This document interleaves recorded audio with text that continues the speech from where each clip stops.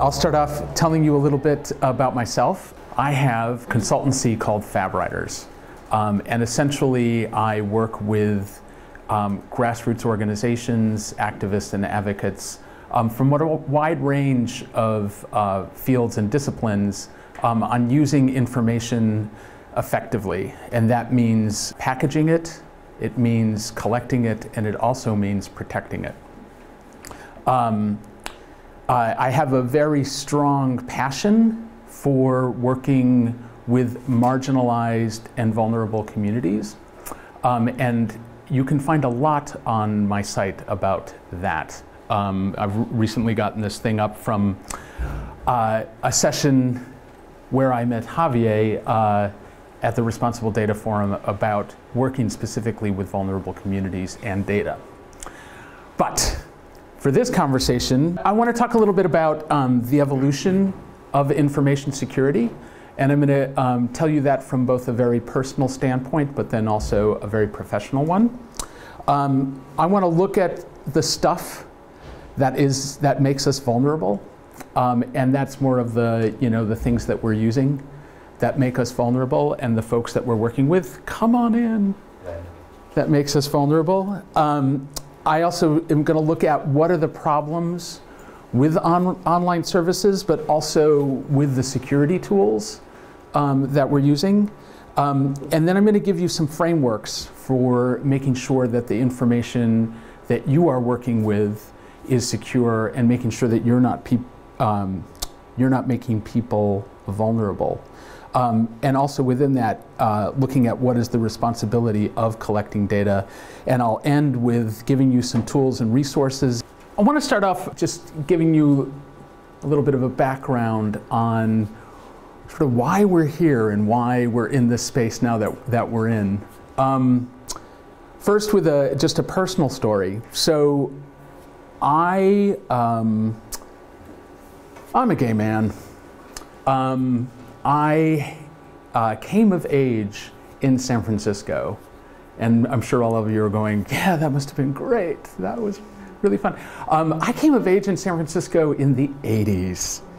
And that was a very dark time, um, largely because of the spread of the AIDS virus.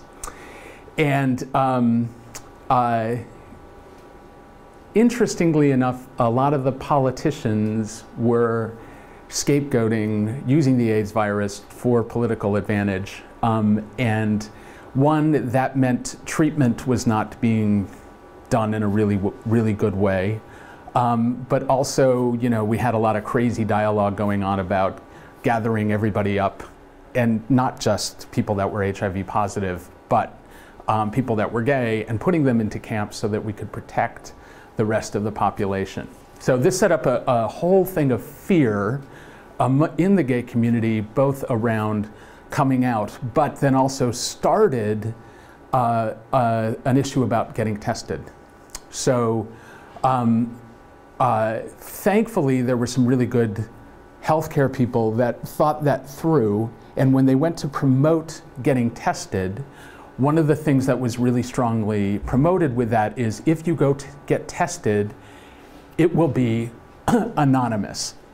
So when I went to get tested, I was, um, you know, I went into the clinic, I gave them no information about me, right?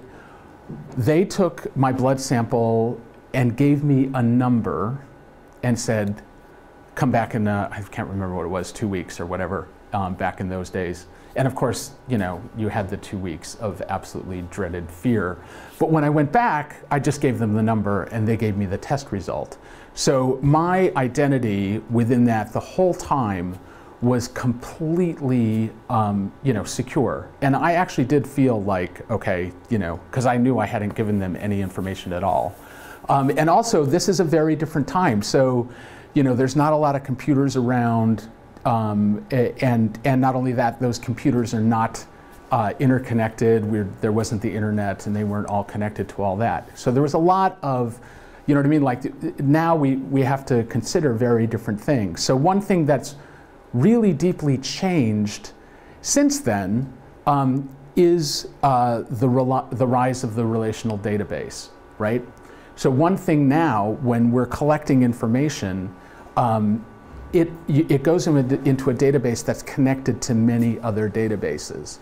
And for me, this was something that, because um, I started working with activists uh, largely in the 90s, and uh, it was really interesting, you know, it was, it was like a godsend. Oh my God, we can connect all these different things. We can connect, um, you know, stuff about our members, who our members are connected to and all that. And it just opened up this wide thing of like, that was great for activists, right? To be able to collect information about members and, and keep them on track. However, this has gone a little bit crazy now, right? So we have the internet, we're constantly connected, and information is constantly being connected, and these relational databases have become something completely different. Um, so what is all this stuff now that we're using, right? All these different things that we are currently using, right? There, every time we go and we put in information um, into any of these things, they are going off of our computers across the internet and being collected somewhere, right? Um, and I mean, I can go through, I can go through each one of these things and explain to you why they're um, vulnerable or why they make you vulnerable and all that. But we don't have that amount of time and that could take all day. The main thing is it comes down to just about everything we do on the internet. Okay? Then we enter in the mobile, right? So now not only are we, you know, connecting to databases um, via the internet. We're doing it via our mobile, and it's adding on all sorts of other information, like you know your location, um, times, all that different stuff. Um, and not only that, then it's becoming um, you know your conversations uh, that are going on on this. Um, it's not just the internet. It was stuff that we used to take for granted. You know, you picked up a landline and you had a conversation with someone at the other end of the landline, somebody had to be connected to that physically in order to listen to you. Now it's a lot easier with the mobile. Have I terrified everyone yet? Sorry. So let I did. Um, so one of the major things that we we we're doing um, is we're forgetting, right? we're, we're sort of forgetting about all this and we're forgetting about all, all the different stuff. And it's basically um, around convenience, right? It's really easy for us to get a lot of stuff back from this, right? I used my mobile this morning to get me from here to the train station or from the train station to here, right? I didn't even think about it at all. I just pick up my phone, enter in the thing, and it's giving me directions and all that. I'm not thinking about that information Sorry. no worries. Um, uh, but the thing that we forget more than anything is if we're not paying for services, we are the product, right? So anytime you pick up something, any, and the other thing too that's quite ironic about this, now even when we do pay for stuff, often um, they are still using us as a product, right? So there's this sort of we we have this this this sense, and this is the other thing too. Like, you know, a lot of us are more aware of these things, but generally, if you're an activist or an advocate and you're trying to get people involved in your campaign and you're trying to get them to share stuff and you know and all that, um, we forget that that most folks I mean, we're thinking about this more because we're activists and advocates and we're understanding. Um, we have a much more, you know, our mindsets are more geared to this. But, you know, people themselves are much more thinking about the convenience aspect rather than, you know, how, is, how are they becoming a product? It's not at the forefront of everyone's minds. So, um, uh, we're all using online services. It's really convenient. Um, so what are the problems with this? how many of you have uh, recognized the symbol? This is only something that's appeared within the last week. But essentially, this is um, uh, an icon for something called Heartbleed, which is a vulnerability um, on the internet. Basically, it's intertwined with a lot of services that we're using, and it means that all that information that even when we thought it was secure is not. So the problem with online services, the problem with anything going off your computer, even if you do trust it, right? Even if you trust that it is um, going off to a safe space because you've been told it's encrypted, you've, you know, you've, you've got all the right protocols going and all that. Even then, it's one, it's going out of your control, but there's lots of things that could be going on that is going to make um, even the encrypted stuff not be encrypted. And there's lots of other things that we've been learning about uh, recently with Eric Snowden and, and WikiLeaks and all those things about backdoors coming into these things and all that. So we're less likely to trust these things. Plus, how many people here know that now the, the, the connection between Condi Rice and Dropbox? I saw the logo and had no idea what it was about. I saw it on just people sharing okay. it this morning. How many people here use Dropbox?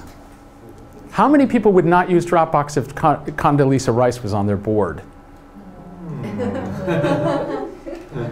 so this is something that's come out in the last week as well. And the, uh, the, the thing more about this, um, I mean, yes, okay, Condoleezza Rice, promoting torture, promoting tapping, you know what I mean? Like, and, and, and she's now being put, being put on the board of this.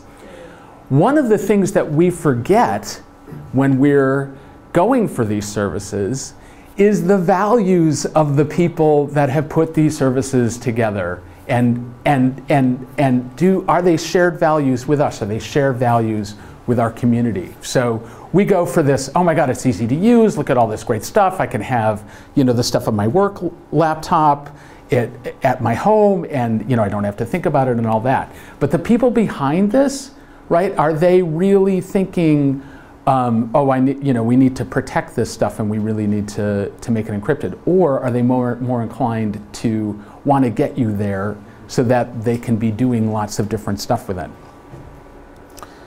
So my big question, which is quite small, why are we surprised?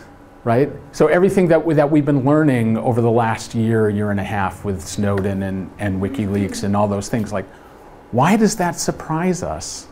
Um, basically, you know, if there are ways for people to get at information and make use of it, they will, right? Why are we surprised that um, governments that have been so caught up in preventing terrorism and surveilling and now wanting to watch not only the terrorists but the activists and the advocates as well, we find out that they're actually, you know, are collecting all this data um, and going through it. So what, why does that surprise us? right? Um, so, so there's all this. There's all this stuff with, with the online world. Um, then the other issue that we have is uh, the problem with security tools. So, um, I mean, there's one things that I just talked about, which is the backdoors and the encryptions and all that stuff and how fallible that really is. But there's other problems with security tools. Um, probably the most, uh, the, the, the issue that I encounter more than anything is um, that they're, they're often counterintuitive and they're not in the reach of mere mortals. So um, if I am working with advocates who are trying to get people to use online tools to get information, to do crowdsourcing and things like that. Um, the mere mortals, you know, the people that they're trying to reach, are not likely to be using this stuff, nor are they likely to be capable of using it. Um, the other issue is their use often arises, um, arouses suspicion.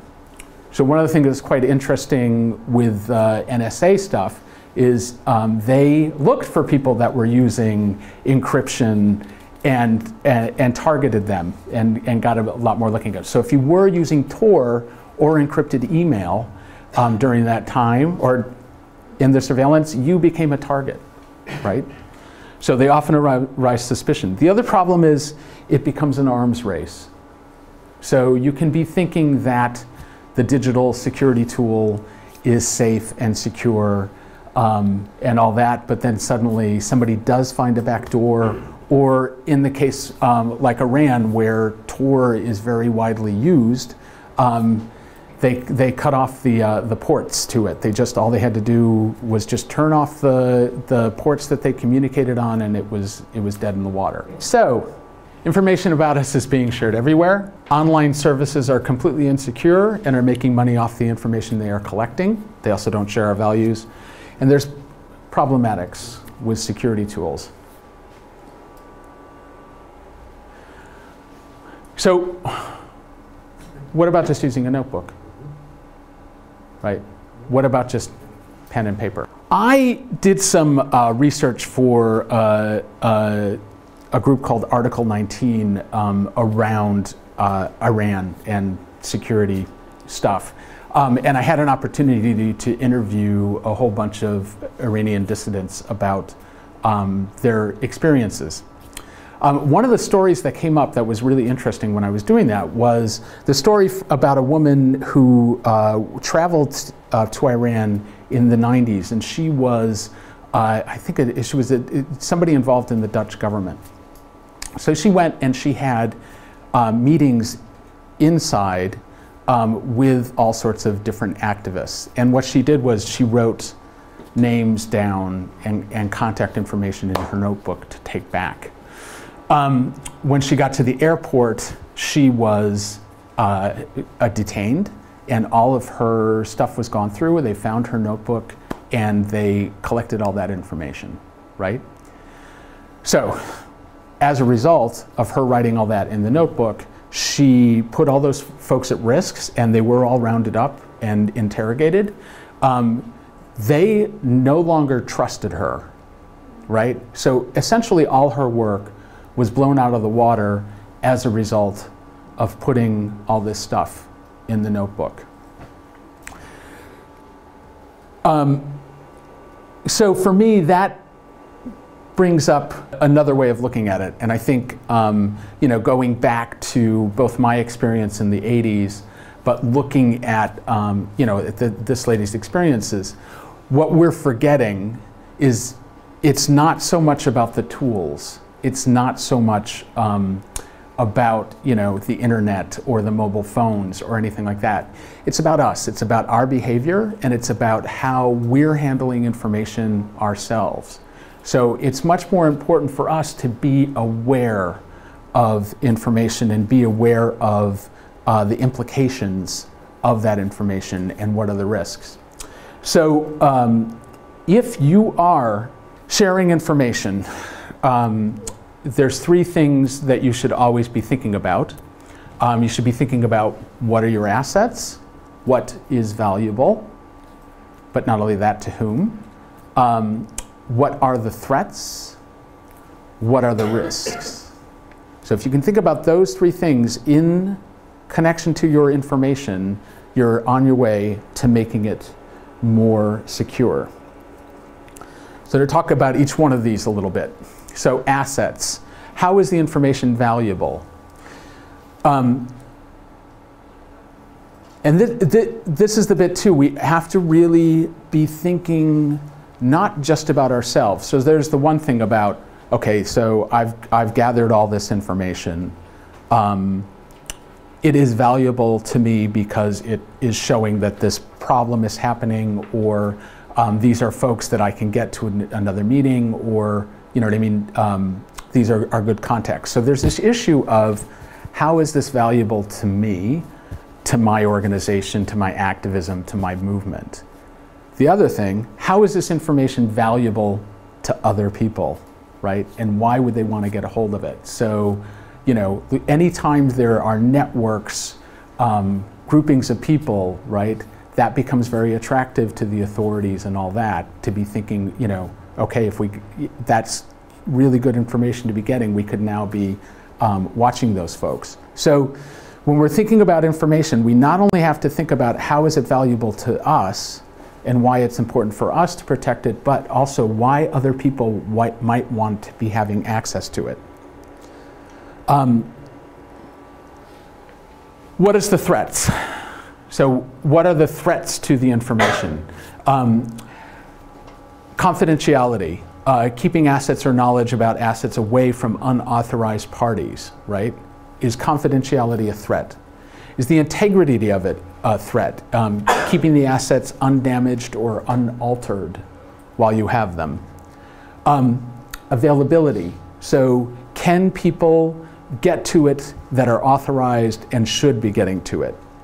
Um, is there consistency? Is the assets behaving and working as is expected all the time? So, does it work that way all the time that you're using it? Um, do you have control, or are you going to lose control um, to the assets? And uh, can you audit it? Can you always verify that the assets are secure and are what they're supposed to be. So when we talk about risk, what we're talking about is the likelihood of a threat actually occurring. Um, and so how likely are these things? Um, ooh, consistency. Anyways, um, love it when that happens. Um, but um, so, so, you know, in relation to your information, can you look at each one of these things and, and think about what are the threats in regards to it? Um, but there's other, there, there's, there's those layers, and that's the stuff about the information itself. But then the other piece is your responsibility as an activist around doing data collection. So, um, uh, you need to be always be thinking about um, and, the, and in terms of confidentiality, but you should always be thinking about how information can be traced back to real, um, real people. And the bit of this is also understanding identifiers, right? Um, what are things that identify people? And what are ways that people could be identified? So, you know, what are the implications on that? And one of the things that um, I've encountered recently I'm doing some work uh, in Eastern Europe, working with a group called the Eurasian Harm Reduction Network. And they're working on a campaign to expose police violence that is occurring against women who use drugs. Um, so in order to expose it, this first year, what we're doing is getting them, getting um, different uh, partners within the region to be putting on a map uh, places where women who use drugs have experienced violence. Now, one of the things that's been quite interesting, um, we started looking at that data and realized that um, time and location would be an identifier to a police officer that had committed violence, right? So if we were making that freely available and police officers could get a hold of it, then we were um, likely to be making the women even more vulnerable than they were. So the campaign has actually now changed track, and what they're doing is collecting information not about the violence itself, but about the police stations. So what's happening? Um, it's it's a it's a different center. So now they're going for okay. Let's look at um, police uh, districts where the violence is happening more. So still collecting information on, on women, but changing the scope and also changing how the information is being displayed to give better protection to the women. Um, uh, and I think the, the flip side of that and the bit that, that we absolutely have to be concerned about when we're collecting data um, is do we have consent? So, as I mentioned before, you know, we're all working with, um, with folks that uh, are, are, have different levels of understandings of the implications of the data. So if we are collecting data and we want to use them, it is our duty to be making sure that they understand uh, how we are going to use the data, what we want to use it for, and that also we are being very clear about what the risks are, right?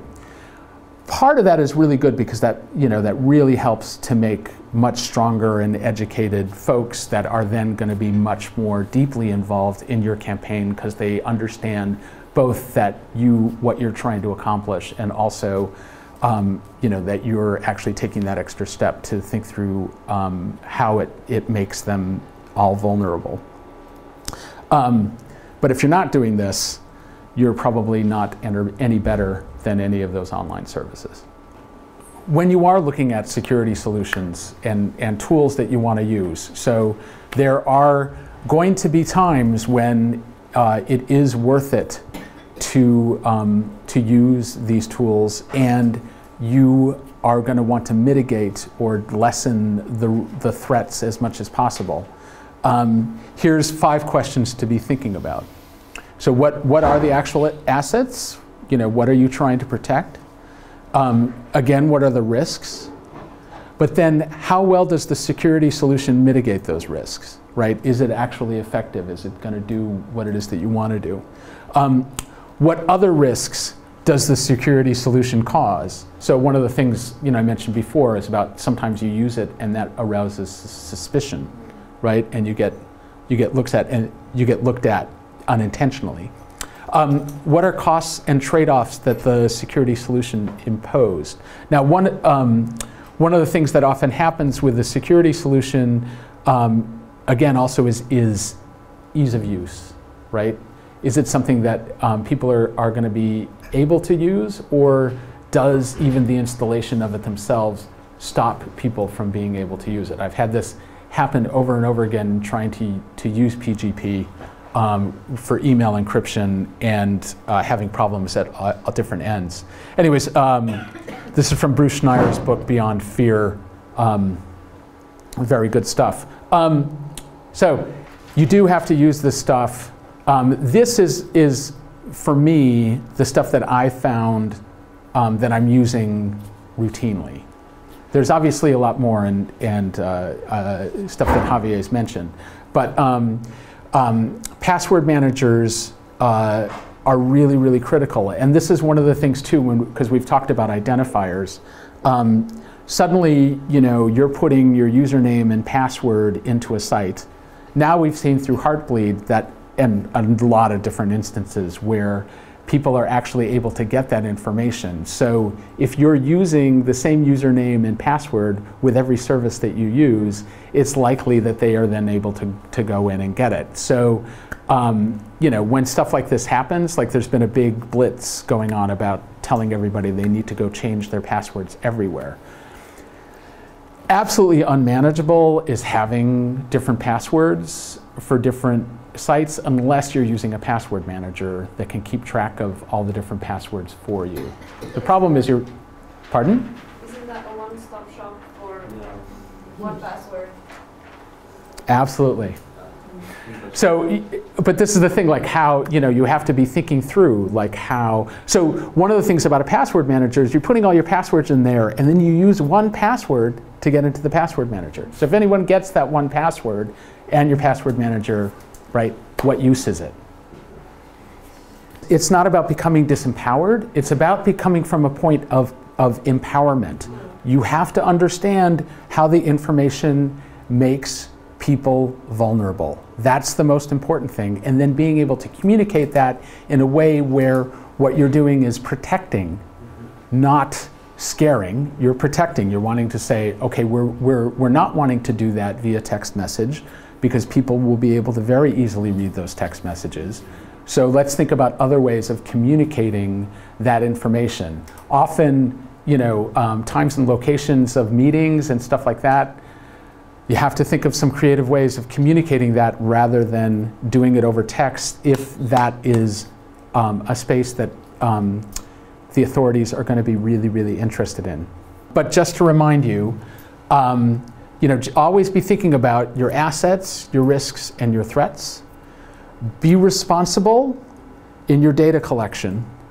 Um, and consider using the security tools only after you've assessed their impact. Um, some resources to leave you with. EFFs, um, the whole stuff I, uh, on assets, threats, threats, and risks, they've got a really good walkthrough on it, and that'll really help you out. If you are not aware of Tactical Tech, who's my former employer, uh, their Protect program, they have excellent uh, guides, both in how to use the tools, but also frameworks for thinking of it. One of the things that they've uh, done recently and gotten a lot of um, acclaim for is the Me and My Shadow website, where you can go in and plug in uh, information about your online services, and it will show you how you're vulnerable. So that's very good. Um, you can also see more of me um, in these Article 19's online protection videos, where I have gone over a lot of the points that I've raised here. Um, but there's also quite a few other um, really good, helpful videos that are there as well.